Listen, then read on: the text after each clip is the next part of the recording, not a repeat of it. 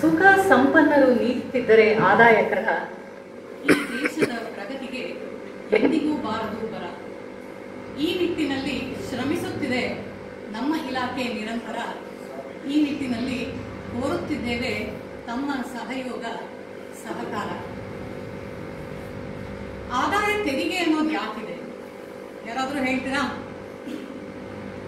ಏನಾದ್ರೂ ಮಾತಾಡಿ ಇಲ್ಲ ಅಂದ್ರೆ ನಿದ್ದೆ ಮಾಡ್ತೇವೆ ನಾವು ನಿದ್ದೆ ಮಾಡುವ ಸದವಕಾಶ ಯಾರಿಗೂ ಕೊಡಲ್ಲ. ಆದಾಯ ತೆರಿಗೆ ಅನ್ನೋದು ಯಾಕಿದೆ? ಎಸ್ ಬಿಕಾಮ್ ಸ್ಟೂಡೆಂಟ್ಸ್ ಅಲ್ಲ? ಹೇಳಿ ಯಾಕಿದೆ? ಹಾ, ಗೌರ್ಮೆಂಟಿಗೆ ರೆವಿನ್ಯೂ ಬರುತ್ತೆ. ಆದ್ರೆ ಇಷ್ಟೆಲ್ಲ ಟ್ಯಾಕ್ಸ್ ಇರುವಾಗ, ಇಷ್ಟೆಲ್ಲ ಕರ ಇರುವಾಗ ಇನ್ನು ಆದಾಯ ತೆರಿಗೆ ಅನ್ನೋದು ಯಾಕೆ ಬೇಕು?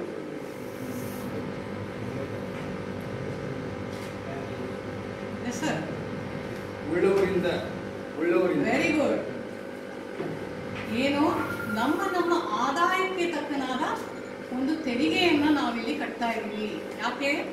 ಯಾವುದೇ ಒಂದು ಸಮಾಜದಲ್ಲಿ ಕೆಲವರು ಆಗರ್ಭ ಶ್ರೀಮಂತರಿರ್ತಾರೆ ಇನ್ನು ಕೆಲವರು ಕಡು ಬಡವರಿರ್ತಾರೆ ಯಾವುದೇ ಒಂದು ಸಮಾಜಕ್ಕಾದರೂ ಒಂದು ಸರಿ ಸಮಾನತೆ ಅನ್ನೋದು ಬೇಕು. ಅದಕ್ಕಾಗಿ ನಾ ಈ ಆದಾಯ ತೆರಿಗೆ ಅನ್ನೋದನ್ನ ತಂದಿದ್ದಾರೆ. ನಮ್ಮ ನಮ್ಮ ಆದಾಯಕ್ಕೆ ತಕ್ಕನಾಗಿ. ಈಗ ಒಂದು ಆರು ಲಕ್ಷ ರೂಪಾಯಿ ಇದ್ರೆ ಎಷ್ಟೋ ಒಂದು ಒಂದು ಅರವತ್ತು ಸಾವಿರ ರೂಪಾಯಿ, ಒಂದು ಮೂವತ್ತು ಸಾವಿರ ರೂಪಾಯಿ ಎಷ್ಟೋ ಒಂದು ಟ್ಯಾಕ್ಸ್ ಬರುತ್ತೆ. ಅದೇ ಕೋಟಿಗಟ್ಟಲೆ ಇದ್ದಾಗ ಟಾಟಾ, ಬಿರ್ಲಾ ಇವರೆಲ್ಲ ಕೋಟಿಗಟ್ಟಲೆಯಲ್ಲಿ ಟ್ಯಾಕ್ಸ್ ಕಟ್ತಾರೆ. ನಮ್ಮ ನಮ್ಮ ಆದಾಯಕ್ಕೆ ತಕ್ಕನಾದ ತೆರಿಗೆಯನ್ನು ನಾವು ಕಟ್ತಾ ಹೋಗ್ತೇವೆ. ಇದೆಲ್ಲ ಸೆಂಟ್ರಲ್ ಗೌರ್ಮೆಂಟಿಗೆ ಹೋಗುತ್ತೆ. ಸೆಂಟ್ರಲ್ ಗೌರ್ಮೆಂಟ್ ಏನು ಮಾಡುತ್ತೆ? ಮತ್ತೆ ಅದನ್ನು ಬಡವರ ಕಲ್ಯಾಣಕ್ಕಾಗಿ ಉಪಯೋಗಿಸುತ್ತೆ. ಅದು ಅವ್ರಿಗೆ ಕೊಡುವಂತಹ ಎರಡು ರೂಪಾಯಿ ಕೆ ಜಿ ಅಕ್ಕಿ ಇರ್ಬೋದು, ಇಲ್ಲ ಗೌರ್ಮೆಂಟ್ ಶಾಲೆಗಳಿರ್ಬೋದು, ಇಲ್ಲ ಗೌರ್ಮೆಂಟ್ ಹಾಸ್ಪಿಟ್ಲ್ ಇರ್ಬೋದು. ಗೌರ್ಮೆಂಟ್ ಹಾಸ್ಪಿಟ್ಲಲ್ಲಿ ಉಚಿತವಾಗಿ ಔಷಧವನ್ನು ಕೊಡ್ತಾರೆ. ಅದು ಇಲ್ಲದೆ ಹೋಗಿದ್ರೆ ಎಷ್ಟು ಜನ ಪ್ರೈವೇಟಿಗೆ ಹೋಗೋಕೆ ಸಾಧ್ಯ ಇದೆ ಇದೆಲ್ಲ ಯಾವ್ದ್ರಿಂದಾಗಿ ಸಾಧ್ಯ ಆಗ್ತಾ ಇದೆ? ನೀವು ಕಟ್ಟುವ ಆದಾಯ ತೆರಿಗೆ, ನಾವು ಕಟ್ಟುವ ಆದಾಯ ತೆರಿಗೆ.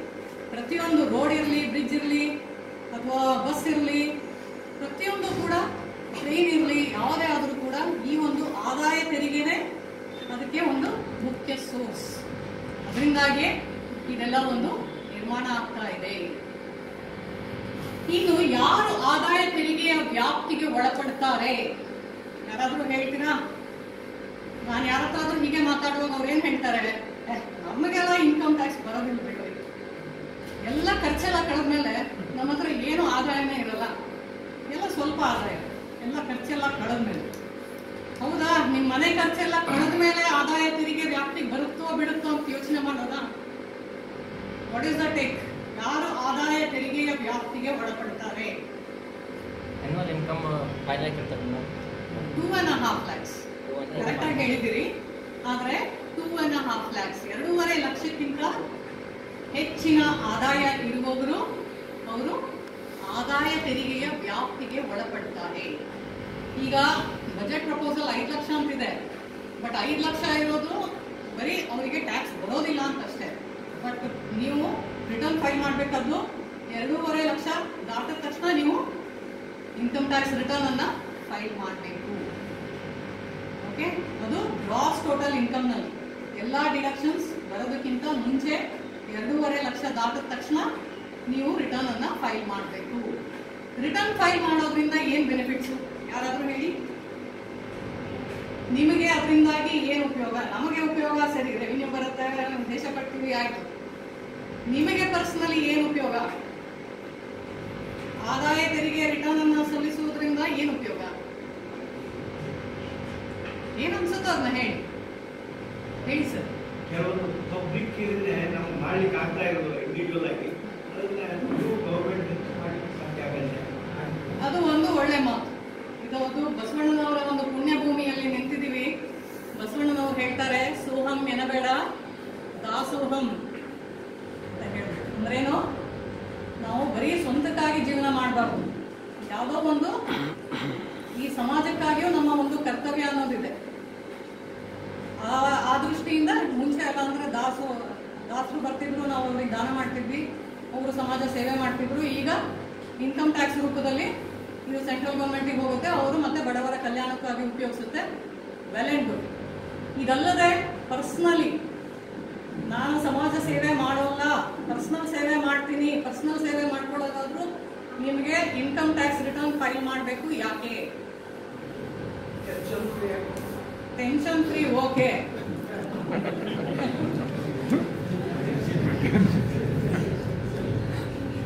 ನೀವು ಬ್ಯಾಂಕ್ನಲ್ಲಿ ಲೋನ್ ತಗೋಬೇಕು. ನಾಳೆ ಮಕ್ಕಳ ವಿದ್ಯಾಭ್ಯಾಸಕ್ಕಾಗಿ ನೀವು ಲೋನ್ ತೆಗಿಬೇಕು. ಇಲ್ಲ ಮನೆ ಕಟ್ಟೋದಕ್ಕಾಗಿ ಲೋನ್ ಬೇಕು, ಇಲ್ಲ ಯಾವುದೋ ಕಾಯಿಲೆ ಕಸಾಲೆನೋ ಯಾವುದೋ ಕಾರಣಕ್ಕಾಗಿ ಲೋನ್ ಬೇಕು, ಅವರು ನಿಮ್ಮ ಒಂದು ವ್ಯಾಲ್ಯೂನ ಯಾವ್ದ್ರ ಮೇಲೆ ಅಂತ ಅವರು ಡಿಸೈಡ್ ಮಾಡ್ತಾರೆ. ಇನ್ಕಮ್ ಟ್ಯಾಕ್ಸ್ ರಿಟರ್ನ್ ಮೂರು ಲಕ್ಷ, ಹನ್ನೆರಡು ಲಕ್ಷ ಇನ್ಕಮ್ ಇದ್ರು, ಮೂರು ಲಕ್ಷ ತೋರಿಸಿದ್ರೆ, ಅವ್ರು ನಿಮ್ಮ ವ್ಯಾಲ್ಯೂ ನಾಳೆ ಅವ್ರು ಲೋನ್ ಕೊಡುವಾಗ ಮೂರು ಲಕ್ಷದಲ್ಲೇ ಇಟ್ಟಿರ್ತಾರೆ. ಮತ್ತು ಒಂದು ವಿಷಯ, ಈಗ ಒಂದು ಹದಿನೈದು ದಿನದ ಹಿಂದೆ ಆದಂತಹ ಒಂದು ರೇಟ್ ಅಲ್ಲಿ ಹೋಗಿದ್ವಿ ಅವ್ನು ಹೇಳ್ತಾನೆ, ಏನ್ ಮೇಡಮ್ ನಾನು ಕಳೆದ ಎರಡು ವರ್ಷದ ಹಿಂದೆ ನಮ್ಗೆ ಲಾಸ್ ಆಗಿತ್ತು. ಇವಾಗಿನ ನನಗೆ ಇನ್ಕಮ್ ಬರ್ತಾ ಇದೆ, ಈಗ ನಾನು ತಡ ಹೋಗ್ತಾ ಇದ್ದೀನಿ, ನೀವು ಬಂದಿದ್ದೀರಿ. ಸರಿಯಪ್ಪ, ನಿಮಗೆ ಆ ಲಾಸ್ ಏನಾಗಿತ್ತು? ನಾವು ಸೆಟ್ ಆಫ್ ಮಾಡುವ. ಅಂತ ಹೇಳಿದ್ರು ಆದ್ರೆ ಆ ಮನುಷ್ಯ ರಿಟರ್ನೇ ಫೈಲ್ ಮಾಡಿಲ್ಲ. ಲಾಸ್ ರಿಟರ್ನ್ ಆದರೂ ಫೈಲ್ ಮಾಡಿದ್ರೆ, ಅವಾಗಿನ ಲಾಸು ಇವತ್ತಿನ ರಿಟರ್ನ್ ಅಲ್ಲಿ ಇವತ್ತಿನ ಇನ್ಕಮ್ ಅಲ್ಲಿ ಸೆಟ್ ಆಫ್ ಮಾಡಬಹುದಿತ್ತು ಆದ್ರೆ ಆ ಮನುಷ್ಯ ರಿಟರ್ನ್ ಫೈಲ್ ಮಾಡಿಲ್ಲ. ಹಾಗಾಗಿ ಯೋಚನೆ ಮಾಡಿ ನೀವು ರಿಟರ್ನ್ ಫೈಲ್ ಮಾಡೋದು ಎಷ್ಟು ಮುಖ್ಯ? ಇವತ್ತು ಲಾಸ್ ಇದ್ರೂ ಕೂಡ ನೀವು ರಿಟರ್ನ್ ಫೈಲ್ ಮಾಡಬೇಕು. ಮಾಡಿದಾಗ ನೀವು ಆ ಲಾಸನ್ನ ಕ್ಯಾರಿ ಫಾರ್ವರ್ಡ್ ಮಾಡ್ಕೋಬಹುದು ಎರಡು ವರ್ಷದ ನಂತರ ನಿಮ್ಗೆ ಇನ್ಕಮ್ ಬರುತ್ತೆ. ಅವಾಗ ಅದನ್ನ ಸೆಟ್ ಆಫ್ ಮಾಡ್ಕೋಬಹುದು ಕಾಯ್ದೆಯ ಅನುಗುಣ ಅನುಗುಣವಾಗಿ. ಇಲ್ಲ ಅಂದ್ರೆ ಏನಾಗುತ್ತೆ? ಈಗ ನಾವು ಹೋಗಿ ಮೇಲೆ ಎಲ್ಲದೂ ಇನ್ಕಮ್ ಅವ್ನು ಲಾಸ್ ಆಗಿತ್ತು ಅನ್ನೋದಕ್ಕೆ ಏನು ಪ್ರೂಫ್ ಇದೆ? ಏನಿಲ್ಲ ಎಲ್ಲ ಅನ್ಅಕೌಂಟೆಡ್ ಇನ್ಕಮ್ ಅದಷ್ಟು ಟ್ಯಾಕ್ಸ್ ಆಗುತ್ತೆ. ಅದು ಅನ್ಅಕೌಂಟೆಡ್ ಇನ್ಕಮ್ ಅಂದರೆ ಜಾಸ್ತಿ ಟ್ಯಾಕ್ಸ್ ಆಗುತ್ತೆ. ಯಾಕಂದರೆ ಯಾವುದೇ ರೀತಿ ಎಕ್ಸ್ಪೆನ್ಸಸ್ನ ಅಲೌ ಮಾಡೋದಿಲ್ಲ. ಪ್ಯಾನ್ ನಂಬರ್ ಪ್ಯಾನ್ ನಂಬರ್ ಪಡೆಯೋದ್ರಿಂದಾಗಿ ಏನು ಉಪಯೋಗ? PAN number compulsory PAN number ಬೇಕೀಗ ಯಾವ್ದಕ್ಕೆ ಬೇಕು? ಎಲ್ಲದಕ್ಕೂ ಬೇಕು. Account opening account opening very good ಮತ್ತೆ ಜಿ ಎಸ್ ಟಿ ಇನ್ನೊಂದು ವಿಷಯ. ಎಷ್ಟೋ ಜನ ನೀವು ಇನ್ಕಮ್ ಟ್ಯಾಕ್ಸ್ ಫೈಲ್ ಮಾಡ್ತಿದ್ದೀರಾ ಅಂದ ತಕ್ಷಣ ಜಿ ಎಸ್ ಟಿ ಫೈಲ್ ಮಾಡ್ತಾ ಇದ್ದೀನಿ. ಇನ್ಕಮ್ ಟ್ಯಾಕ್ಸ್ ಬೇರೆ ಜಿ ಎಸ್ ಟಿ ಬೇರೆ. ಅದೇ ಬೇರೆ, ಇದೇ ಬೇರೆ. ಜಿ ಎಸ್ ಟಿ ಫೈಲ್ ಮಾಡುತ್ತಾ ನೀವು ಇನ್ಕಮ್ ಟ್ಯಾಕ್ಸ್ ಮಾಡ್ತಾ ಹೋದ್ರೆ ಇನ್ಕಮ್ ಟ್ಯಾಕ್ಸ್ ಡಿಫಾಲ್ಟರೇ ಓಕೆ ಹಾಗಾಗಿ ನೀವು ಇನ್ಕಮ್ ಟ್ಯಾಕ್ಸ್ ಕೂಡ ಫೈಲ್ ಮಾಡಬೇಕು. ಬಹಳಷ್ಟು ವ್ಯಾಪಾರಿಗಳು ಜಿ ಎಸ್ ಟಿ ಮಾಡ್ತಾ ಇದ್ದಾರೆ. ಇನ್ಕಮ್ ಟ್ಯಾಕ್ಸ್ ಮಾಡ್ತಾ ಇಲ್ಲ. ಪ್ಯಾನ್ ನಂಬರ್ ನೀವು ಬ್ಯಾಂಕಲ್ಲಿ ದುಡ್ಡು ಇಡ್ತೀನಿ, ದುಡ್ಡು ತೆಗಿತೀನಿ, ಎಲ್ಲದಕ್ಕೂ ಬೇಕು. ಎಫ್ ಡಿ ಮಾಡ್ತೀನಿ, ಬೇಕು. ಬ್ಯಾಂಕ್ ಲೋನ್ ಮಾಡ್ತೀನಿ, ಬೇಕು. ಇನ್ನು ಒಂದು ಮೋಟಾರ್ ಕಾರ್ ತಗೋತೀನಿ, ಅದಕ್ಕೆ ಬೇಕು. ಪ್ರಾಪರ್ಟಿ ತಗೋತೀನಿ, ಅದಕ್ಕೂ ಪ್ಯಾನ್ ನಂಬರ್ ಬೇಕು. ಇನ್ನೇನು ಬೇಡ, ನಾನು ಕೂಲಿ ಮಾಡ್ತಾ ಇದ್ದೀನಿ. ಗೌರ್ಮೆಂಟ್ ಇಂದ ಗೌರ್ಮೆಂಟ್ ಯಾವುದೋ ಸ್ಕೀಮ್ ಇಂದ ನಂಗೆ ಏನೋ ಒಂದು ದುಡ್ಡು ಬರುತ್ತೆ, ಪೆನ್ಷನ್ ಬರುತ್ತೆ, ಅದಕ್ಕೂ ಕೂಡ ಪ್ಯಾನ್ ನಂಬರ್ ಬೇಕು. ಓಕೆ? ಸೊ ಇಷ್ಟೆಲ್ಲ ಬೆನಿಫಿಟ್ಸ್ ಇದೆ. ನೀವು ಕಂಪಲ್ಸರಿ ಪ್ಯಾನ್ ನಂಬರ್ ತಗೊಳ್ಳೋದ್ರಿಂದ ಆಮೇಲೆ ಬಹಳಷ್ಟು ಕಡೆ ನೋಡ್ತಾ ಇದ್ದೀನಿ, ತಪ್ಪು ಪ್ಯಾನ್ ನಂಬರ್ ತಗೊಂಡಿರ್ತಾರೆ. ನೀವು ನೋಡ್ಕೋಬಹುದು ನಾಲ್ಕನೇ ಅಕ್ಷರ. ನೀವು ಇಂಡಿವಿಜುವಲ್ ಆಗಿದ್ರೆ ನಾಲ್ಕನೇ ಅಕ್ಷರ ಪಿ ಅಂತ ಇರುತ್ತೆ. ಪರ್ಸನ್. ಪರ್ಸನ್. ಪ್ಯಾನ್ ನಂಬರ್ ಅಲ್ಲಿ ನಾಲ್ಕನೇ ಅಕ್ಷರ? ಪಿ. ಪಿ ಅಂತಿದ್ರೆ ಅದು ಪರ್ಸನ್. ಎಫ್ ಇದ್ರೆ ಫರ್ಮ್. ಸಿ ಇದ್ರೆ ಕಂಪನಿ. ಕಂಪನಿ. ಅದೇ ಯಾವ್ದಾದ್ರು ಕೋಆಪರೇಟಿವ್ ಸೊಸೈಟಿ ಇದ್ರೆ A O P association of person A ಇರುತ್ತೆ. ಐದನೇ ಲೆಟರ್ ನಿಮ್ಮ ಹೆಸರನ್ನ ಸೂಚಿಸುತ್ತೆ. ಓಕೆ ಮತ್ತೆ ಪ್ರೀವಿಯಸ್ ಇಯರ್ ಅಂದ್ರೇನು ಅಸೆಸ್ಮೆಂಟ್ ಇಯರ್ ಅಂದ್ರೇನು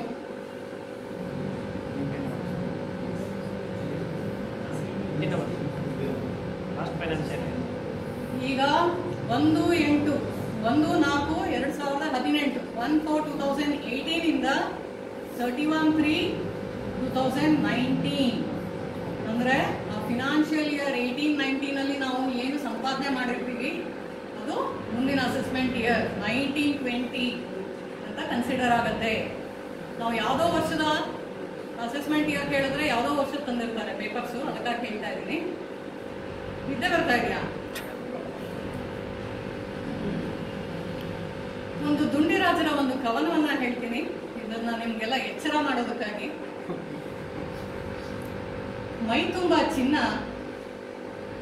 ಮೈ ತುಂಬಾ ಚಿನ್ನ, ಕೈ ತುಂಬಾ ಹಣ. ಮೈ ತುಂಬಾ ಚಿನ್ನ, ಕೈ ತುಂಬಾ ಹಣ ತರುವ ಹುಡುಗಿ ಹೇಗಿದ್ದರೂ ಸರಿ. ಮೈ ತುಂಬಾ ಚಿನ್ನ, ಕೈ ತುಂಬಾ ಹಣ ತರುವ ಹುಡುಗಿ ಹೇಗಿದ್ದರೂ ಸೈ, ವರನ ದೃಷ್ಟಿಯಲ್ಲಿ ಆಕೆ ಐಶ್ವರ್ಯ ರೈ. ಇನ್ನು ಇನ್ಕಮ್ ಟ್ಯಾಕ್ಸ್ ರಿಟರ್ನ್ ಅನ್ನ ಯಾವಾಗ ಫೈಲ್ ಮಾಡಬೇಕು? ಇನ್ಕಮ್ ಟ್ಯಾಕ್ಸ್ ರಿಟರ್ನ್ ಯಾವಾಗ ಫೈಲ್ ಮಾಡಬೇಕು? ಡ್ಯೂ ಡೇಟ್ ನೀವು ಡ್ಯೂ ಡೇಟ್ ಒಳಗೆ ರಿಟರ್ನ್ ಫೈಲ್ ಮಾಡಬೇಕು ಅಂದ್ರೆ ಲಾಸ್ ಕ್ಯಾರಿ ಫಾರ್ವರ್ಡ್ ಮಾಡೋಕ್ಕಾಗಲ್ಲ.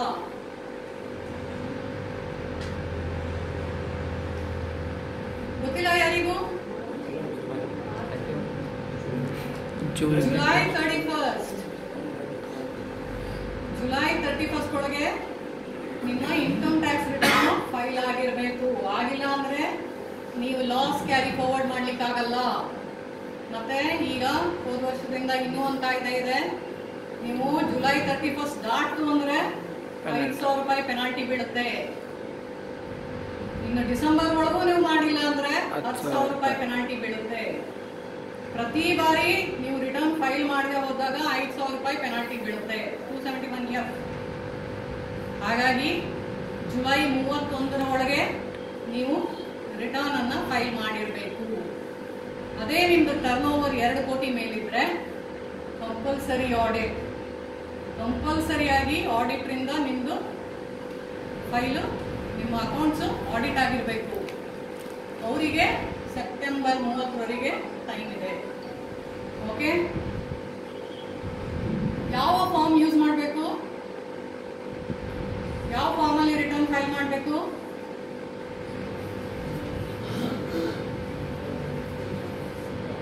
ಯಾರು ರಿಟರ್ನ್ ಫೈಲ್ ಮಾಡ್ತಾ ಇಲ್ಲ I T R one salary ಇದ್ದವರಿಗೆ I T R four business income ಇದ್ದವರಿಗೆ ಇನ್ನು ಫಾರ್ಟಿ ಫೋರ್ ಎ ಡಿ ಅದರಲ್ಲಿ ಏನಾದ್ರು ಫೈಲ್ ಮಾಡ್ತಾ ಇದ್ರೆ ಸುಗಮ್ ಫೋರ್ ಎಸ್ ಅಲ್ಲಿ ಫೈಲ್ ಮಾಡಬೇಕು ಓಕೆ ಈಗ ಏನಿದು ಫಾರ್ಟಿ ಫೋರ್ ಎ ಡಿ ಎರಡು ಕೋಟಿಗಿಂತ ಕಡಿಮೆ ಇದ್ರೆ ನಿಮಗೆ ಕಂಪಲ್ಸರಿ ಆಡಿಟ್ ಇಲ್ಲ. ಸೊ ಅಂತವರು ಫಾರ್ಟಿ ಫೋರ್ ಎ ಡಿಯಲ್ಲಿ eight percent of turnover ಅಷ್ಟು ಇನ್ಕಮ್ ಡಿಕ್ಲೇರ್ ಮಾಡಿ ಅವರು ರಿಟರ್ನ್ ಫೈಲ್ ಮಾಡ್ಬೋದು. ಬಹಳಷ್ಟು ಮಿಸ್ಕನ್ಸೆಪ್ಷನ್ ಫಾರ್ಟಿ ಫೋರ್ ಎ ಡಿನಲ್ಲಿರೋರಿಗೆ ಯಾವುದೇ ರೀತಿ ಬುಕ್ಸ್ ಮೇಂಟೈನ್ ಮಾಡುವ ಅವಶ್ಯಕತೆ ಇಲ್ಲ. ನಾವು ಯಾವ ರಿಜಿಸ್ಟ್ರು ಇಡಲ್ಲ, ಯಾವ ಪರ್ಚೇಸ್ ಬಿಲ್ಲು ಇಡಲ್ಲ, ಯಾವ ಸೇಲ್ಸ್ ಬಿಲ್ಲು ಇಲ್ಲ, ಇಡಲ್ಲ. ಸೇಲ್ ಮಾಡ್ತೀನಿ, ತಕ್ಷಣ ಅವತ್ತಿನ ದಿನನೇ ರಾತ್ರಿ ಎಲ್ಲ ಹರಿದಾಕ್ತೀನಿ. ಹದಿನೈದು ದಿನದ ಮುಂಚೆ ನಡೆದಂತಹ ರೈಡು, ಅವ್ನು ದಿನ ಸಾಯಂಕಾಲ ಹೋಟೆಲ್ನವನು ದಿನ ಸಾಯಂಕಾಲ ಆದಷ್ಟು ಸೇಲ್ಸಿಂದು ಸೇಲ್ ಬಿಲ್ಲು ಹರಿದಾಕ್ತಾನೆ. ನಡೆಯುತ್ತಾ? ನೀವು ಆಡಿಟಿಗೆ ಒಳಪಡದೆ ಹೋದರೂ ಕೂಡ sales register purchase register stock register cash book ಇದೆಲ್ಲ ಇಟ್ಟಿರಲೇಬೇಕು. ಎಷ್ಟು ವರ್ಷದವರೆಗೆ? ಸಿಕ್ಸ್ ಇಯರ್ಸ್ ಆರು ವರ್ಷದವರೆಗೆ ನಾವು ರಿಓಪನ್ ಮಾಡ್ತೀವಿ. ಹಾಗಾಗಿ ಆರು ವರ್ಷದವರೆಗೆ ಬೇಕು. ಈಗ ಆಗಲೇ ಹೇಳಿದೆ ಆದಂಥ ರೈಡು ದಿನ ಸಾಯಂಕಾಲ ಅವನು ಅಷ್ಟು ಆಗಿದಷ್ಟು ಸೇಲ್ಸನ್ನು ಕರೆದು ಹಾಕ್ತಾನೆ. ನಮಗೆ ಬೇರೆ ಎಲ್ಲಿಂದಲೋ ನಾವು ಎಲ್ಲಾದ್ರೂ ರೈಡ್ ಮಾಡುವಾಗ ಪ್ರತಿಯೊಂದು ಸರ್ಚ್ ಮಾಡ್ತೀವಿ. ಅಲ್ಲಿ ನಮಗೆ ಸುಳು ಸಿಕ್ಕಿದೆ. ಹಾಗಾಗಿ ಯಾವುದೋ ಒಂದು ತಿಂಗಳದ್ದು ಸೇಲ್ಸ್ ಎಷ್ಟಾಗಿದೆ ನಮ್ಮ ಕೈಗೆ ಬಂದು ನಾವೇನು ಮಾಡ್ತೀವಿ? ಇಡೀ ವರ್ಷದ್ದು ಆ ಬೇಸಿಸ್ ಮೇಲೆ ಎಸ್ಟಿಮೇಟ್ ಮಾಡ್ತೀವಿ. ಅವ್ನು ಹೇಳ್ತಾನೆ, ಇಲ್ಲ ರೀ, ಈ ತಿಂಗಳು ಪಾರ್ಟಿ ಆಗಿತ್ತು. ಅದಕ್ಕಾಗಿ ಜಾಸ್ತಿ ಸೇಲ್ಸ್ ಆಗಿದೆ. ಹೌದಾ? ಏನಿದೆ ಪ್ರೂಫ್ ಇದಿರಷ್ಟು ಸೇಲ್ ಬಿಲ್ಲು ಹರಿದು ಒಲೆಗೆ ಹಾಕಿದ್ರೆ ಏನು ಪ್ರೂಫ್ ಇದೆ? ನಿಮ್ದು ಕಡಿಮೆ ಆಗಿದೆ ಸೇಲ್ಸು ಅಂತ ತಿಳಿಸೋದಕ್ಕೆ ಏನಾದ್ರೂ ಪ್ರೂಫ್ ಇದೆಯಾ? ಏನೂ ಇಲ್ಲ. ಹಾಗಾಗಿ ಪ್ರತಿಯೊಂದು ಸೇಲ್ ಬಿಲ್ಲು ಪರ್ಚೇಸ್ ಬಿಲ್ಲು ಪ್ರತಿಯೊಂದನ್ನು ಇಡಿ. ಮತ್ತೆ ಬರೀ ಸೇಲ್ ಬಿಲ್ಲು ಪರ್ಚೇಸ್ ಬಿಲ್ಲು ಅದ್ರ ಮೇಲೆ ನಾವು ನಿಮ್ಮ ಇನ್ಕಮ್ ಎಸ್ಟಿಮೇಟ್ ಮಾಡೋಲ್ಲ. ಈಗ ಕಳೆದ ಒಂದೂವರೆ, ಎರಡು ತಿಂಗಳಿಂದ ಸತತವಾಗಿ ರೈಡ್ ಆಗ್ತಾ ಇದೆ. ಎಲ್ಲ ಕಡೆ ಸೇಲ್ ಬಿಲ್ ಇಲ್ಲ ಪರ್ಚೇಸ್ ಬಿಲ್ ಇಲ್ಲ. ಆದ್ರೂ ಎಲ್ಲ ಕಡೆ ನಾವು ಎರಡರಿಂದ ನಾಲ್ಕು ಕೋಟಿ ಡಿಕ್ಲರೇಷನ್ ಬಂದಿದೆ. ಅಂದ್ರೆ ಏನರ್ಥ? ನಮ್ಮ ಬತ್ತಳಿಕೆಯಲ್ಲಿ ಬೇರೆ ಅಸ್ತ್ರ ಇದೆ. ನಿಮ್ಮ ಒಂದು ಇನ್ಕಮ್ ಅನ್ನ ಎಷ್ಟು ನೀವು ಅರ್ನ್ ಮಾಡಿದಿರಿ ಎಷ್ಟಿದೆ ನಿಮ್ಮ ಇನ್ಕಮ್ ಅಂತ ಲೆಕ್ಕ ಹಾಕೋದಕ್ಕೆ ಬೇರೆನೇ ಒಂದು ಇದು ಮಾಡ್ತಾರೆ ಅದೆಲ್ಲ ನಾನು ಡಿಸ್ಕ್ಲೋಸ್ ಮಾಡಲ್ಲ. ಕೊನೆಗೆ ಅದು ಹೇಗೆ ನಾವು ತಿಳಿತೀವಿ ಅಂತೆಲ್ಲ ನಾನು ಇಲ್ಲಿ ಹೇಳ್ಕೊಂಡು ಹೋದ್ರೆ ಕೊನೆಗೆ ನಮ್ಮ ಕೆಲಸ ಹಾಳಾಗುತ್ತೆ. ಹಾಗಾಗಿ ಸೇಲ್ ಬಿಲ್ಲು ಪರ್ಚೇಸ್ ಬಿಲ್ ಇಟ್ಟಾಗ ಅದು ನಿಮಗೆ ಅನುಕೂಲ. ಹೇಳ್ಕೋಬಹುದು ನೋಡಿಪ್ಪ, ಇಷ್ಟು ಸೇಲ್ ಬಿಲ್ ಇದೆ. ಇದೆ, ಇದ್ರ ಪ್ರಕಾರ ನಾನು ಟರ್ನ್ ತಗೊಂಡಿದ್ದೀನಿ. ಅದ್ರ ಪ್ರಕಾರನೇ ನಾನು ಏಟ್ ಪರ್ಸೆಂಟ್ ಪ್ರಾಫಿಟ್ ಡಿಕ್ಲೇರ್ ಮಾಡ್ಕೊಂಡಿದ್ದೀನಿ. ಅದಿಟ್ಟಿಲ್ಲ ಅಂದ್ರೆ ನಿಮ್ಮ ಸಪೋರ್ಟಿಗೆ ಏನೂ ಇಲ್ಲ. ಕಡಿಮೆ ಆಗಿದೆ ಸೇಲ್ಸ್ ಅಂತ ಹೇಳಿದ್ರೆ ಅದಕ್ಕೆ ಸಪೋರ್ಟಿಗೆ ಏನೂ ಇಲ್ಲ. ಓಕೆ ಆಮೇಲೆ, ಇನ್ನು ಯಾವ್ಯಾವ ಹೆಡ್ ಆಫ್ ಇನ್ಕಮ್ ಇದೆ? ಯಾರಾದರೂ ಹೇಳ್ತೀರಾ?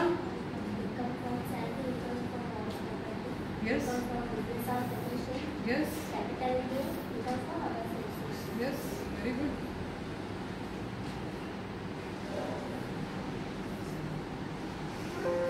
ಇಲ್ಲಿ ಹೆಚ್ಚಿನವರು ಬಿಸ್ನೆಸ್ನವ್ರು ಇದ್ದೀರಾ? ಸೊ ಬಿಸ್ನೆಸ್ನವರಿಗೆ ಬಹಳಷ್ಟು ಡಿಡಕ್ಷನ್ಸ್ ಬರುತ್ತೆ. ಫಾರ್ಟಿ ಫೋರ್ ಏಡಿನಲ್ಲಿ ಯಾವುದೇ ರೀತಿ ಎಕ್ಸ್ಪೆನ್ಸಸ್ ಅಲೌಡ್ ಇಲ್ಲ. ನಿಮ್ಮದು ಎರಡು ಕೋಟಿ ದಾಟಿದ ತಕ್ಷಣ ಅಥವಾ ನೀವು ಫಾರ್ಟಿ ಫೋರ್ ಏಡಿಯಲ್ಲೇ ಎಲ್ಲರೂ ಮಾಡಬೇಕಂತೇನಿಲ್ಲ ನೀವು ಎಕ್ಸ್ಪೆನ್ಸಸ್ ತೋರಿಸೋದಾದರೆ ನೀವು ಫಾರ್ಟಿ ಫೋರ್ ಏಡಿ ಅಲ್ಲದೆ ಹಾಗೇನೆ ಬಿಸ್ನೆಸ್ ಇನ್ಕಮ್ ತೋರಿಸ್ಬೇಕು.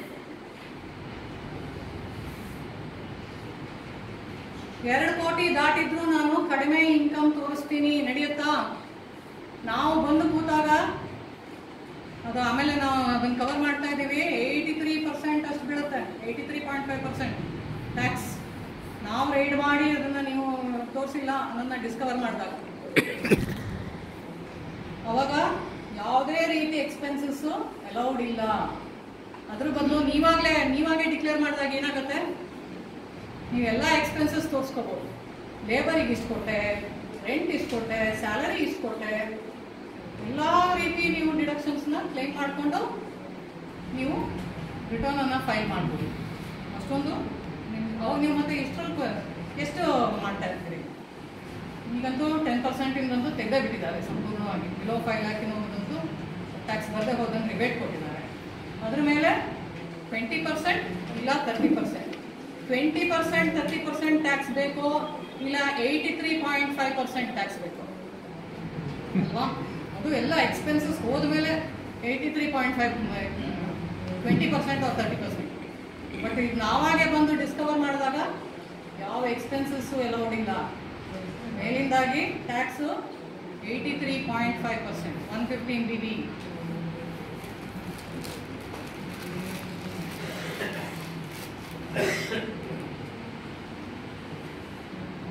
ಇದು ಯಾವ್ದಾದ್ರು ಸ್ಕ್ರೂಟಿನಿ ಆಗಿದ್ರೆ ನಿಮಗೆ ಗೊತ್ತಿರುತ್ತೆ.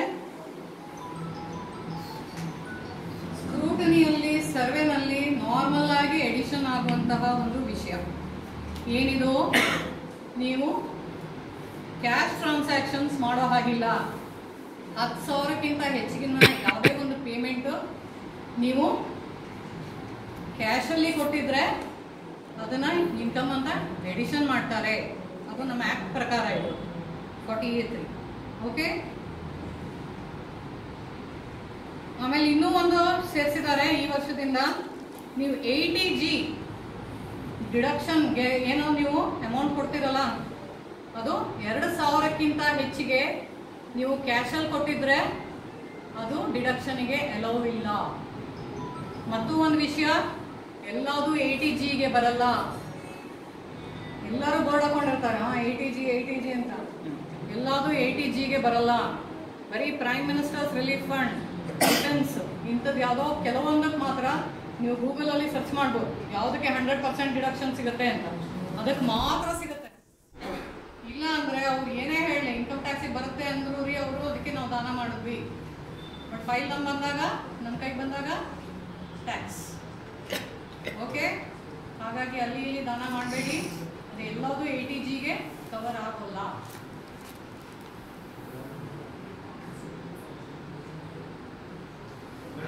ಕ್ಲಿಯರ್ ಏನ್ ಎ ಟಿ ಜಿ ಇದ್ಬದ್ದ ಟ್ರಸ್ಟ್ಗಳೆಲ್ಲರೂ ಎ ಟಿ ಜಿ ಬರ್ತೆ ಬರ್ತೆ ಅಂತ ಹೇಳ್ಕೊಂಡು ಹೋಗ್ತಾರೆ. ಬಟ್ ಅವ್ರಿಗೆ ಎಕ್ಸಾಮ್ಷನ್ಸ್ ಇದೆಯೋ ಇಲ್ವೋ ಎಲ್ಲಾವುದು ಕವರ್ ಆಗುತ್ತೋ ಇಲ್ಲ ಡೌಟ್ ಇದೆ. ಹಾಗಾಗಿ ಬಹಳಷ್ಟು ನಮ್ಮ ಕೈಗೆ ಬರೋ ಫೈಲಲ್ಲಿ ಅದು ಎ ಟಿ ಜಿ ಎಲಿಜಿಬಲ್ ಇರಲ್ಲ. ಹಾಗಾಗಿ ಅದು ಟ್ಯಾಕ್ಸ್ ಆಗುತ್ತೆ. ಅದಕ್ಕೆ ನಿಮಗೆ ಹಂಡ್ರೆಡ್ ಪರ್ಸೆಂಟ್ ಆಗೋವಂಥದ್ದು ಅಂದರೆ ಪ್ರೈಮ್ ಮಿನಿಸ್ಟರ್ಸ್ ರಿಲೇಟ್ ಫಂಡ್ ಅಸ್ಸಾಮಲ್ಲೆಲ್ಲೋ ಫ್ಲಡ್ ಆಯಿತು, ಇನ್ನೆಲ್ಲೋ ಒಂದು ಇದಾಯಿತು. ಅದಕ್ಕೆ ಅವರು ಏನು ಪ್ರೈಮ್ ಮಿನಿಸ್ಟರ್ ರಿಲೀಫ್ ಫಂಡ್ಗೆ ಏನು ಹೋಗುತ್ತಲ್ಲ? ಅದಕ್ಕೆ ಅದಕ್ಕೆ ಮಾತ್ರ ಎ ಟಿ ಜಿ ಎಕ್ಸೆಪ್ಷನ್ಸ್ ಇರುತ್ತೆ. Yes sir A T G ಅದೇ ಅದೇ ಅವರು ಸರ್ಟಿಫಿಕೇಟ್ಸ್ ತಗೊಂಡಿರ್ತಾರೆ ಬಟ್ ಸರ್ಟಿಫಿಕೇಟ್ ಇಟ್ಟರು ಕೂಡ ಟ್ಯಾಕ್ಸ್ ಆಗುತ್ತೆ. ಓಕೆ ಆಮೇಲೆ ಲೋನ್ ತಗೊಳ್ಳೋದಾದ್ರೆ ಕೊಡೋದಾದ್ರೆ ಅದು ಕೂಡ ಕ್ಯಾಶ್ ಅಲ್ಲಿ ಮಾಡೋ ಹಾಗಿಲ್ಲ. ಎಷ್ಟರ ನಂತರ? ಇಪ್ಪತ್ತು ಸಾವಿರದ ನಂತರ. ಇಪ್ಪತ್ತು ಸಾವಿರದ ಒಳಗೆ ಮಾತ್ರ ಲೋನ್ ತಗೊಳ್ಳೋದು ಕೊಡೋದು ಕ್ಯಾಶಲ್ಲಿ ಇದ್ರೆ ನಡೆಯುತ್ತೆ. ಅದಕ್ಕೆ ಮೇಲಿದ್ರೆ ಅದು ಟ್ಯಾಕ್ಸ್ ಆಗುತ್ತೆ. ಇದನ್ನ ಇಮೂವಬಲ್ ಪ್ರಾಪರ್ಟಿಗೆ ಮತ್ತೆ ಮೋಟಾರ್ ಕಾರಿಗೆ ಕೂಡ ಇದನ್ನ ಎಕ್ಸ್ಟೆಂಡ್ ಮಾಡಿದ್ದಾರೆ ಈ ಒಂದು ರೆಸ್ಟ್ರಿಕ್ಷನ್ ಆಮೇಲೆ ಅದಷ್ಟು ನಿಮ್ಮ ಡಿಡಕ್ಷನ್ ಅಲ್ಲಿ ಆಯ್ತು. ನೀವು ಕ್ಲೇಮ್ ಮಾಡಿರ್ತೀರಿ. ನಿಮ್ಮ ಪ್ರಾಫಿಟ್ ಆ್ಯಂಡ್ ಲಾಸ್ ಅಕೌಂಟಲ್ಲಿ ಅದನ್ನು ಹಾಕಿರ್ತಾರೆ. ಬಟ್ ನೀವು ಯಾವುದೋ ಒಂದು ಪೇಮೆಂಟ್ಸು ನೀವು ಯಾವಾಗ ಹತ್ತು ಸಾವಿರ ರೂಪಾಯಿ ಮೇಲಿಂದ ಮಾಡಿದ್ದೀರಿ ಅಂತ ಗೊತ್ತಾಗುತ್ತೋ, ಅಥವಾ ಯಾವುದೋ ಒಂದು ಲೋನು ನೀವು ಇಪ್ಪತ್ತು ಸಾವಿರಕ್ಕಿಂತ ಜಾಸ್ತಿ ಕ್ಯಾಶಲ್ಲಿ ಕೊಟ್ಟಿದ್ದೀರಿ ಅಂತ ಗೊತ್ತಾಗುತ್ತೋ, ಅದಷ್ಟನ್ನು ವಿ ಆ್ಯಡ್ ಬ್ಯಾಕ್ ಎಡಿಷನ್ ಆಗುತ್ತೆ. ಕ್ಯಾಶ್ ರಿಸೀಟ್ಸ್ ಬಟ್ ನೀವು ತಗೊಳ್ಳುವಾಗಲೇ ಎರಡು ಲಕ್ಷಕ್ಕಿಂತ ಹೆಚ್ಚಿಗೆ ಯಾವುದೇ ರೀತಿಯಲ್ಲಿ ಕ್ಯಾಶ್ ತಗೊಂಡಿದ್ರೆ ಅದು ಎಡಿಷನ್ ಆಗುತ್ತೆ. Hundred percent.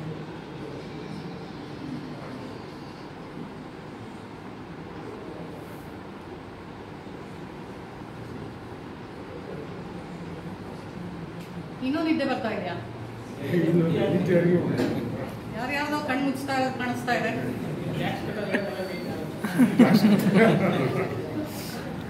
ಕೇಳಿ ದುಂದಿರಾಜರ ಒಂದು ಹನಿಗವನ. ನಿಮ್ಮನ್ನು ಎಚ್ಚರವಾಗಿ ಇಟ್ಕೊಳ್ಳೋದಕ್ಕಾಗಿ ನಾ ಇದನ್ನೆಲ್ಲ ಹೇಳ್ತಾ ಇದ್ದೀನಿ. ನಮ್ಮ ಮನೆಯಲ್ಲಿ ಮಿಕ್ಸರ್ ಇಲ್ಲ. ನಮ್ಮ ಮನೆಯಲ್ಲಿ ಮಿಕ್ಸರ್ ಇಲ್ಲ. ಗ್ರೈಂಡರ್ ಇಲ್ಲ. ವಾಷಿಂಗ್ ಮೆಷಿನ್ ಇಲ್ಲ. ನಮ್ಮ ಮನೆಯಲ್ಲಿ ಮಿಕ್ಸರ್ ಇಲ್ಲ ಗ್ರೈಂಡರ್ ಇಲ್ಲ ವಾಷಿಂಗ್ ಮೆಷಿನ್ ಇಲ್ಲ ಎಂದೆಲ್ಲ ನನ್ನ ಆಕೆ ಒಣಗುವುದಿಲ್ಲ. ಏಕೆಂದರೆ ನಾನಿದ್ದೇನಲ್ಲ?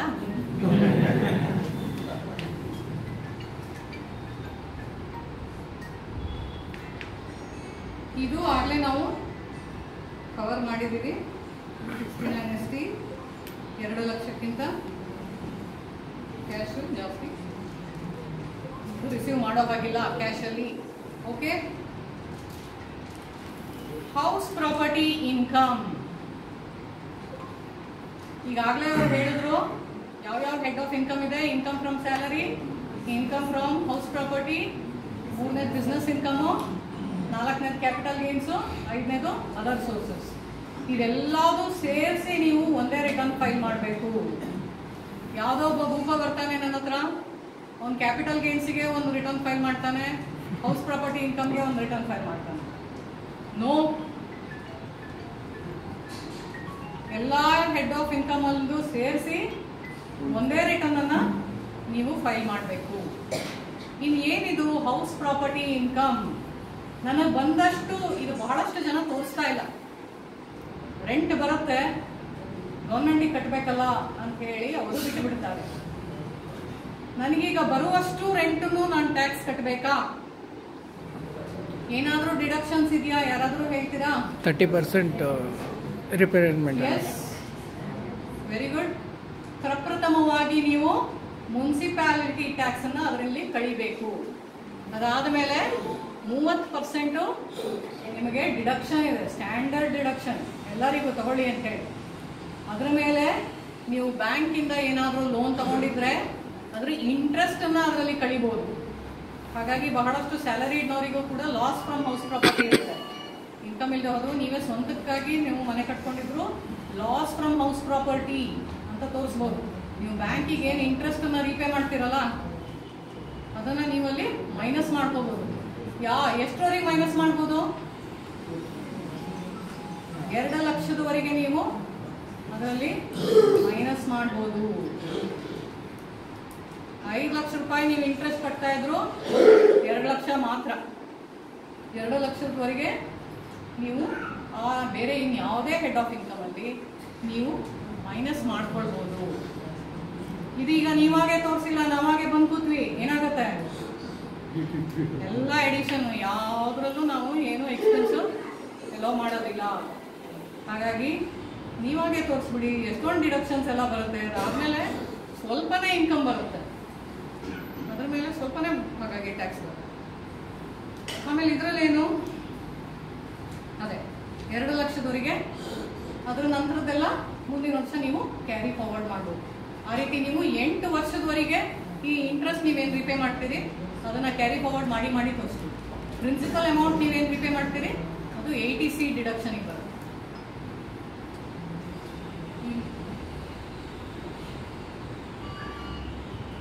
ಈ- ವರ್ಷದಿಂದ ಮತ್ತೆ ಡೆಪ್ರಿಸಿಯೇಷನ್ ಅಮೌಂಟ್ ಚೇಂಜ್ ಮಾಡಿದ್ದಾರೆ. ಎಲ್ಲರ ಹತ್ರ ಕಂಪ್ಯೂಟರ್ ಲ್ಯಾಪ್ಟಾಪ್ ಇದೆಲ್ಲ ಅಂತೂ ಇದ್ದೇ ಇರುತ್ತೆ. ಬಿಸ್ನೆಸ್ನವ್ರು ಎಲ್ಲರೂ ಇದ್ರದ್ದೊಂದು ಡೆಪ್ರಿಸಿಯೇಷನ್ ಕ್ಲೇಮ್ ಮಾಡೇ ಮಾಡ್ತೀರಿ. ಅದನ್ನ ಫಾರ್ಟಿ ಪರ್ಸೆಂಟಿಗೆ ಇಳಿಸಿದ್ದಾರೆ. ಮುಂಚೆ ಅರವತ್ತು ಪರ್ಸೆಂಟ್ ಇದ್ದಿದ್ದನ್ನ ಈಗ ಫಾರ್ಟಿ ಪರ್ಸೆಂಟಿಗೆ ಇಳಿಸಿದ್ದಾರೆ. ಇನ್ನು ಇದಲ್ಲದೆ renewable energy devices air pollution control ಎಕ್ವಿಪ್ಮೆಂಟ್ಗೂ ಹಾಗೆ ಎಲ್ಲದಕ್ಕೂ ಫಾರ್ಟಿ ಪರ್ಸೆಂಟ್ ಕ್ಯಾಪ್ ಕೊಟ್ಟಿದ್ದಾರೆ. ಇನ್ಕಮ್ ಫ್ರಮ್ ಅದರ್ ಸೋರ್ಸಸ್ ಏನಿದೆ ಇನ್ಕಮ್ ಫ್ರಮ್ ಅದರ್ ಸೋರ್ಸಸ್ ಅಂದ್ರೆ? ಎಸ್ ಲಾಟ್ರಿ ಹಾರ್ಸ್ ರೇಸ್ ಅದೆಲ್ಲ ಇರುತ್ತೆ. ಎಲ್ಲರಿಗೂ ಒಂದು ಇನ್ಕಮ್ ಫ್ರಮ್ ಅದರ್ ಸೋರ್ಸ್ ಇರುತ್ತೆ. ಏನದು? ನಾವು ಒಕ್ಕಲ್ತನ ಮಾಡ್ತೀವ್ರಿ. ಅವರಿಗೂ ಒಂದು ಇನ್ಕಮ್ ಫ್ರಮ್ ಅದರ್ ಸೋರ್ಸ್ ಇರುತ್ತೆ. ಏನು? ಬ್ಯಾಂಕ್ ಅಲ್ಲಿ ದುಡ್ಡಿಟ್ಟಿರ್ತಾರೆ. ಅದರಿಂದ ಬರೋ interest it is chargeable to tax ಅದು ಇನ್ಕಮ್ ಫ್ರಮ್ ಅದರ್ ಸೋರ್ಸಸ್ ಆಗುತ್ತೆ. ಓಕೆ ಅದು ಹತ್ತು ಸಾವಿರ ರೂಪಾಯಿವರೆಗೆ ಎ ಟಿ ಟಿ ಟಿಯಲ್ಲಿ ಅದಕ್ಕೆ ಡಿಡಕ್ಷನ್ ಸಿಗುತ್ತೆ. ಸೀನಿಯರ್ ಸಿಟಿಸನ್ ಆದರೆ ನಲ್ವತ್ತು ಸಾವಿರ ರೂಪಾಯಿ ಐವತ್ತು ಸಾವಿರ ರೂಪಾಯಿವರೆಗೂ ಡಿಡಕ್ಷನ್ ಸಿಗುತ್ತೆ ಈ ವರ್ಷದಿಂದ. ಇಲ್ಲಿವರೆಗೆ ಐ ಟಿ ಟಿ ಎ ಇತ್ತು ಐ ಟಿ ಟಿ ಬಿ ಅದ ಮುಂದಿದೆ. ಅಗ್ರಿಕಲ್ಚರ್ ಲಾಸ್ ಇದ್ದವ್ರೆ ಅಗ್ರಿಕಲ್ಚರಲ್ ಇನ್ಕಮ್ ಎಕ್ಸೆಂಪ್ಟಿವ್ ಸರಿ ಬಟ್ ನೀವು ಆ ದುಡ್ಡನ್ನು ಏನು ತಗೊಂಡು ಹೋಗಿ ಬ್ಯಾಂಕಲ್ಲಿ ಇಡ್ತೀರಿ? ಅದರಿಂದ ಏನು ಇಂಟ್ರೆಸ್ಟ್ ಬರುತ್ತೆ? ಅದು ಎರಡೂವರೆ ಲಕ್ಷ ದಾಟ್ತು. ಬೇರೆ ಇನ್ನೇನು ಅದು ಅದು ಇದು ಹೌಸ್ ಪ್ರಾಪರ್ಟಿ ಇನ್ಕಮ್ ಅದು ಇದು ಎಲ್ಲ ಸೇರಿ ಎರಡೂವರೆ ಲಕ್ಷ ದಾಟ್ತು. ಅವಾಗಲೂ you come under tax bracket ನೀವು ಅವಾಗಲೂ ರಿಟರ್ನ್ ಫೈಲ್ ಮಾಡಬೇಕು. ಸೀನಿಯರ್ ಸಿಟಿಸನ್ಸ್ಗಾದ್ರೆ ಮೂರು ಲಕ್ಷ. ಓಕೆ ಡಿವಿಡೆಂಡ್ ಮುಂಚೆ ಅಲ್ಲ ಟೆನ್ ತರ್ಟಿ ಏಟ್ ಅಲ್ಲಿ ಡಿವಿಡೆಂಡ್ ಇನ್ಕಮ್ ಎಕ್ಸಾಮ್ ಇವಾಗ ಏನ್ ಮಾಡಿದ್ದಾರೆ? ಅದು ಯಾವಾಗ ಹತ್ತು ಲಕ್ಷ ದಾಟುತ್ತೆ, ಅದ್ರ ಮೇಲೆ ಟೆನ್ ಪರ್ಸೆಂಟ್ ಟ್ಯಾಕ್ಸ್ ಹಾಕಿದ್ದಾರೆ ಇದು ಚೇಂಜಸ್ ಈ ಈ ಒಂದು ಇದರಿಂದ ಸಾಲಿಂದ ಆಗಿರುವಂತಹ ಒಂದು ಅಮೆಂಡ್ಮೆಂಟ್ಸ್ ಇನ್ನು ಇದು ಎಲ್ಲ ಕಡೆ ಮಾಡೇ ಮಾಡ್ತೀವಿ. ಸ್ಕ್ರೂಟಿನಿ ಆದವರಿಗೆ ಎಲ್ಲರಿಗೂ ಗೊತ್ತಿರೋ ವಿಷಯ. ಏನೇ ಪೇಮೆಂಟ್ ಮಾಡುವಾಗ ಟಿ ಡಿ ಎಸ್ ಮಾಡಿಲ್ಲ ಅಂದರೆ ಅದೆಲ್ಲ ಫಾರ್ಟಿ ಎ ಒನ್ನಲ್ಲಿ ಎಡಿಷನ್ ಆಗುತ್ತೆ. ಸೊ ಹಾಗಾಗಿ ರೆಂಟು ಇಂಟ್ರೆಸ್ಟು ಬೇರೆ ಯಾವುದಕ್ಕೆ ಇದಕ್ಕಾದ್ರೂ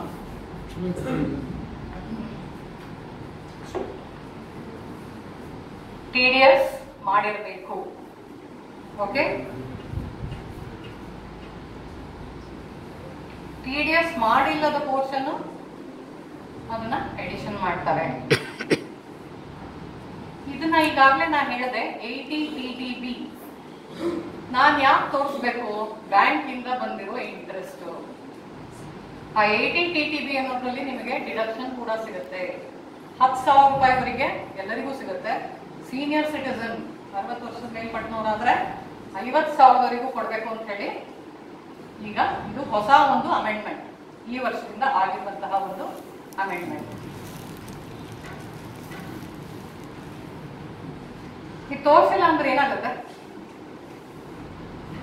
ತೋರಿಸಿಲ್ಲ ಅಂದ್ರೂ ಕೂಡ ಡಿಪಾರ್ಟ್ಮೆಂಟಿಗೆ ಇನ್ಫಾರ್ಮೇಶನ್ ಬರುತ್ತೆ. Tax deduction net source T D S ಇದು ಒಂದು ಶೋರ್ ಸೋರ್ಸ್ ಆಫ್ ಇನ್ಕಮ್ ಡಿಪಾರ್ಟ್ಮೆಂಟಿಗೆ ಯಾಕೆ? ಮಂತ್ಲಿ ಮಂತ್ಲಿ ಯಾರೋ ಅರ್ನ್ ಮಾಡ್ತಾರೆ ಯಾರೋ ಕಟ್ ಮಾಡ್ತಾರೆ. ನೀವು ತಗೊಂಡು ಹೋಗಿ ದುಡ್ಡು ಇಡ್ತೀರಿ ನಿಮ್ ದುಡ್ಡಾಗಿರುತ್ತೆ ಬ್ಯಾಂಕ್ ನವನಿಗೆ ಕಟ್ ಮಾಡೋದಕ್ಕೆ ಏನು ಕಷ್ಟ? ಕತ್ತರಿಸ್ತಾನೆ ಹೋಗಿತಾನೆ ಹಾಗಾಗಿ ಅವನು ಅದನ್ನ ಮುಚ್ಚಿಡೋದಕ್ಕೆ ಹೋಗಲ್ಲ. ಹಾಗಾಗಿ it is a sure source of income ಹೀಗೆ ಬಹಳಷ್ಟು ಕಡೆ ಇದೆ ಕಮಿಷನ್ಗಿದೆ ಇದೆ ಕಾಂಟ್ರಾಕ್ಟ್ ಇದೆ ರೆಂಟ್ ಪೇಮೆಂಟ್ ನಿಮಗೆ ರೆಂಟ್ ಬರ್ತಾ ಇದೆ ಒಂದ್ ಲಕ್ಷದ ಇಪ್ಪತ್ ಸಾವಿರವರೆಗಿತ್ತು. ಅದನ್ನ ಮತ್ತೆ ಪ್ರಪೋಸಲ್ ಅಲ್ಲಿ, ಈ ವರ್ಷ ಪ್ರಪೋಸಲ್ ಅಲ್ಲಿ ಒಂದ್ ಲಕ್ಷದ ಎಂಬತ್ ಸಾವಿರವರೆಗೆ ಮಾಡಿದ್ದಾರೆ. ನಿಮಗೆ ರೆಂಟ್ ಕೊಡುವವರು ಟಿ ಡಿ ಎಸ್ ಮಾಡಲೇಬೇಕು. ಓಕೆ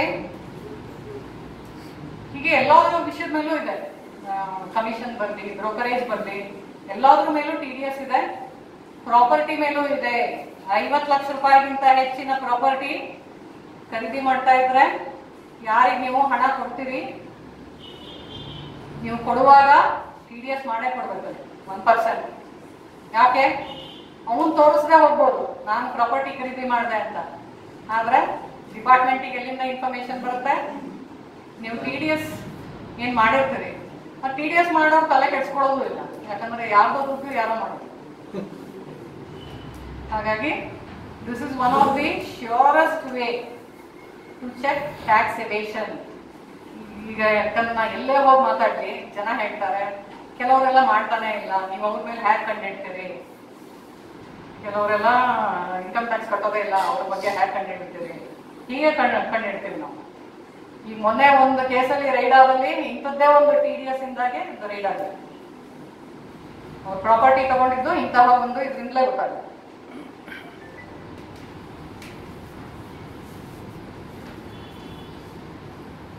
ಇನ್ನು ಫಾರ್ಟಿ ತ್ರೀ ಇದು ಈಗ ಈಗಾಗಲೇ ಹೇಳಿದ್ವಲ್ಲ ಕ್ಯಾಶ್ ಕ್ಯಾಶ್ ಟ್ರಾನ್ಸಾಕ್ಷನ್ಸ್ ಮಾಡೋ ಹಾಗಿಲ್ಲ. ಕ್ಯಾಶ್ ಅಲ್ಲಿ ನೀವು ರಿಸೀಟ್ಸ್ ತಗೊಳ್ಳೋ ಹಾಗಿಲ್ಲ ಇದೆಲ್ಲ. ಇದೆಲ್ಲ ಈಗ ಟ್ರಸ್ಟಿಗೂ ಕೂಡ ಅನ್ವಯಿಸುತ್ತೆ ಈ ವರ್ಷದಿಂದ. ಇಷ್ಟು ದಿನ ಬರೀ ಬಿಸ್ನೆಸ್ ಮ್ಯಾನಿಗಿತ್ತು ಇನ್ ಮುಂದೆ ಟ್ರಸ್ಟ್ನವರಿಗೂ ಕೂಡ ಅದನ್ನ ತಂದಿದ್ದಾರೆ. ಇನ್ನು ಏನಿದು? ಅನ್ಎಕ್ಸ್ಪ್ಲೈನ್ಡ್ ಇನ್ಕಮ್ ಅಂತಂದ್ರೆ ಏನು ಯಾವುದೇ ರೀತಿ ಇನ್ವೆಸ್ಟ್ಮೆಂಟ್ ಆಗಲಿ, ಯಾವುದೇ ರೀತಿ ದುಡ್ಡಾಗಲಿ, ಯಾವುದನ್ನ ನೀವು balance sheet profit and loss account ಅಲ್ಲಿ ತೋರಿಸಿಲ್ಲ. ಅದೆಲ್ಲದು ಅನ್ಅಕೌಂಟೆಡ್ ಓಕೆ ಹಾಗಾಗಿ ಪ್ರತಿಯೊಂದು ವಿಷಯ ನಿಮ್ಮ profit and loss account and balance sheet ಅಲ್ಲಿ ಕವರ್ ಆಗಿರಬೇಕು. ಯಾವಾಗ? ಅದಕ್ಕೆಲ್ಲ ಟ್ಯಾಕ್ಸ್ ಕಟ್ಕೊಂಡು ಹೋಗ್ತೀರಿ. Twenty percent or thirty percent ತೋರಿಸಿಲ್ಲ? ಎಸ್ ಇಲ್ಲಿ ಬಂತು ನೋಡಿ ಅದು. ಟ್ರಸ್ಟ್ ಈಗ ಇಲ್ಲೇ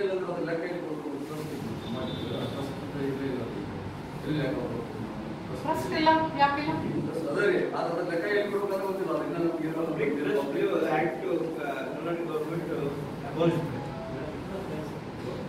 ಏನ್ವೆ, ಅದನ್ನ ನಾವು ಸರ್ ಕ್ಲಿಯರ್ ಮಾಡ್ತಾರೆ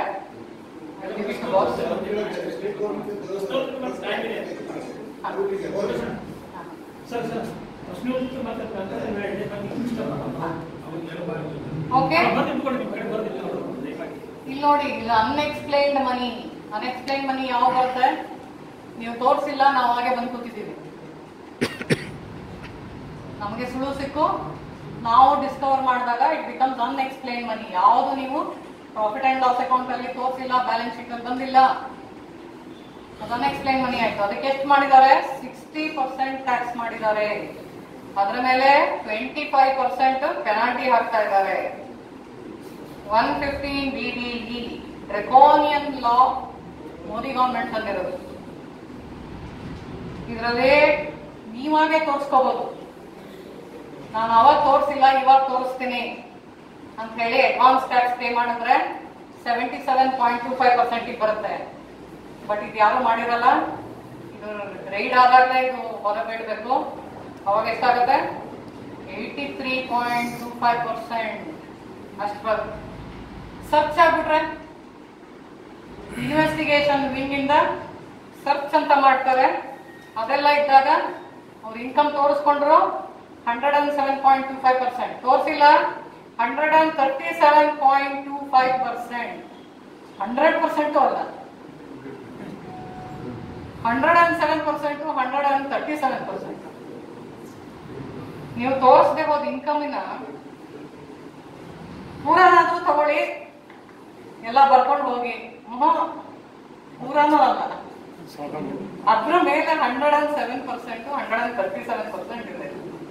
ಅದ್ರ ಮೇಲಿಂದ ಪೇ ಮಾಡುವಂತ ಪರಿಸ್ಥಿತಿ ಬರುತ್ತೆ ಇದು ಲೇಟೆಸ್ಟ್ ಪ್ರಾವಿಷನ್ಸ್ ಇನ್ನು ಈ two seventy A penalty provisions ತಂದಿದ್ದಾರೆ. ಇದರ ಪ್ರಕಾರ ಪೆನಾಲ್ಟಿ ಎಷ್ಟಾಗುತ್ತೆ? Fifty percent two hundred percent ಇದೆ. ಇದೆಲ್ಲ ಯಾವಾಗ ಬರುತ್ತೆ? ತೋರಿಸದೆ ಹೋದಾಗ. ಅನ್ಎಕ್ಸ್ಪ್ಲೈನ್ಡ್ ಇನ್ಕಮ್ ಆದಾಗ. ಇದು ಅದೇ ಟೂ ಹಂಡ್ರೆಡ್ ಪರ್ಸೆಂಟ್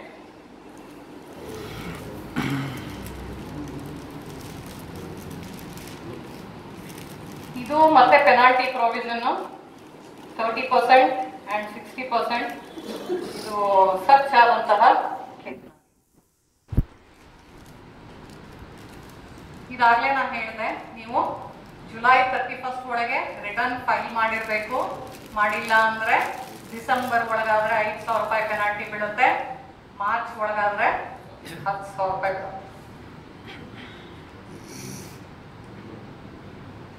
ನಾನು ಕರೆಕ್ಟ್ ಆದ ಇನ್ಫಾರ್ಮೇಶನ್ ಕೊಡಲ್ಲ. ಇದು ಐ ಟಿ ಪಿ ಹಾಗೂ ಚಾರ್ಟರ್ಡ್ ಅಕೌಂಟೆಂಟ್ಸ್ ಏನಿದ್ದಾರೆ? ಅವರಿಗೆ ತಂದಿದ್ದಾರೆ ಈ ವರ್ಷ. ಅವ್ರು ಯಾವಾದ್ರೂ ಒಂದು ರೀತಿಯ ಇನ್ಕರೆಕ್ಟ್ ಇನ್ಫಾರ್ಮೇಶನ್ ಕೊಟ್ರು ಅಂತಂದ್ರೆ ಹತ್ತು ಸಾವಿರ ರೂಪಾಯಿ ಅವ್ರಿಗೆ ಪೆನಾಲ್ಟಿ ಮತ್ತೆ ನಾವು ಕೊಟ್ಟ ನೋಟಿಸಿಗೆ ಕಂಪ್ಲೈನ್ಸೇ ಇಲ್ಲ. ನಾವು ಕಳಿಸ್ತಾ ಇರ್ತೀವಿ one forty two one notice ಅದನ್ನ ತೆಗೆದು ತೆಗೆದ ಹಾಕಿದ್ರೆ ಏನಾಗುತ್ತೆ? ಹತ್ತು ಸಾವಿರ ರೂಪಾಯಿ ಪೆನಾಲ್ಟಿ ಇದೆ. ಇದೆಲ್ಲ ಮುಂಚೆ ಅಸಸಿಗಿತ್ತು ಆದ್ರೆ ಇವಾಗ ಚಾರ್ಟರ್ಡ್ ಅಕೌಂಟೆಂಟ್ಸು ಅದನ್ನ ಎಕ್ಸ್ಟೆಂಡ್ ಮಾಡಿದ್ದಾರೆ. ಅಡ್ವಾನ್ಸ್ ಟ್ಯಾಕ್ಸ್ ಅಂದ್ರೆ ಏನು? ಎನಿಬಡಿ ಇನ್ಕಮ್ ಟ್ಯಾಕ್ಸ್ ಡಿಪಾರ್ಟ್ಮೆಂಟಿಗೆ ಯಾವ ರೀತಿಯಲ್ಲಿ ಟ್ಯಾಕ್ಸ್ ಬರುತ್ತೆ? ಯಾವ ರೀತಿಯಲ್ಲಿ ನೀವು ಟ್ಯಾಕ್ಸ್ ಕಟ್ಬೋದು? ಎಸ್ ವೆರಿ ಗುಡ್ ಈಗಾಗಲೇ ನಾವು ಟಿ ಡಿ ಎಸ್ ಬಗ್ಗೆ ಮಾತಾಡಿದ್ದೀವಿ. Tax deduction at source salary ಅನ್ನೋರಿಗೆ ಕತ್ತರಿಸ್ಬಿಟ್ಟೆ ಆಮೇಲೆ ಕೊಡೋದು. ಇನ್ಕಮ್ನ ಸ್ಯಾಲರಿನ ಟಿ ಡಿ ಎಸ್ ಮಾಡಿದ್ಮೇಲೆ ಕೊಡ್ತಾರೆ. ಇನ್ನು ಬೇರೆ ಕಡೆಗೂ ಮಾಡ್ತಾ ಇದ್ದಾರೆ. ಬ್ಯಾಂಕ್ನವರು ಅಲ್ಲಿ ಇಲ್ಲಿ ಎಲ್ಲ ಕಡೆ ಮಾಡ್ತಾ ಇದ್ದಾರೆ. ಟಿ ಡಿ ಎಸ್ ಪ್ರಾಪರ್ಟಿ ಮಾಡೋದು. ಅದು ಮಾಡ್ತಾರೆ. ಓಕೆ ಈಗ ಬಿಸ್ನೆಸ್ನವರಿಗೆ ಯಾರು ಈ ತರ ಟ್ಯಾಕ್ಸ್ ಮಾಡೋರೇ ಇರಲ್ಲ. ಟ್ಯಾಕ್ಸ್ ಡಿಡಕ್ಷನ್ ನೆಟ್ ಸೋರ್ಸ್ ಆಗಲ್ಲ. ಅಂಥವ್ರು ಅಂಥವ್ರು ಏನ್ ಮಾಡ್ಬೇಕು? ಈ ಅಡ್ವಾನ್ಸ್ ಟ್ಯಾಕ್ಸ್ ಅನ್ನ ಕಟ್ಟಬೇಕು ಅಥವಾ ಟಿ ಡಿ ಎಸ್ ಎಲ್ಲೋ ಒಂದು ಸಣ್ಣ ಪ್ರಮಾಣದಲ್ಲಿ ಆಗ್ತಾ ಇದೆ. ಆ ಟಿ ಡಿ ಎಸ್ನ ಮೈನಸ್ ಮಾಡ್ಬಿಟ್ಟು, ಆಮೇಲೆ ಬಾಕಿದ್ರ ಮೇಲೆ ಅವರು ಟ್ಯಾಕ್ಸ್ ಏನ್ ಕಟ್ತಾರೆ?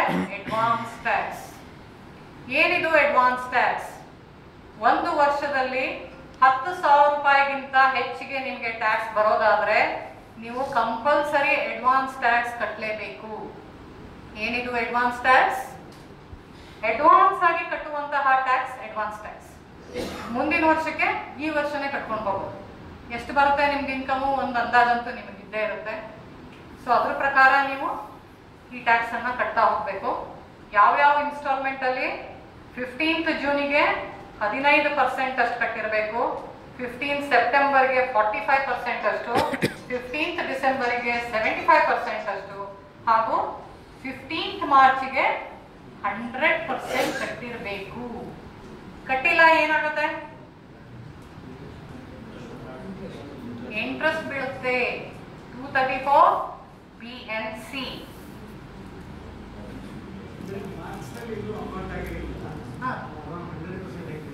ಹಾಂ. ಈಗ ಗೊತ್ತಾಯ್ತು ನಿಮ್ಗೆ, ಇನ್ನೂ ಸ್ವಲ್ಪ ಇನ್ಕಮ್ ಬಂದಿದೆ.